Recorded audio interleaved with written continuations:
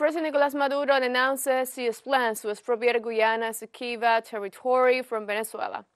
The president made a call for national unity for defense of the integrity and sovereignty of the country. In a sense, he announced the activation of government, governmental plans in the Venezuelan territory of Essequibo and condemned the action of the Venezuelan right wing to attempt against the territorial sovereignty of the country. The head of state revalidated in a message addressed to the White House that the Geneva Agreement is the only valid instrument for the resolution of the territorial controversy over the Guyana Esequiba, whose validity was approved by the Venezuelan people in the consultative referendum with 98.27% of the votes according to the second ballot presented by the National Electoral Council.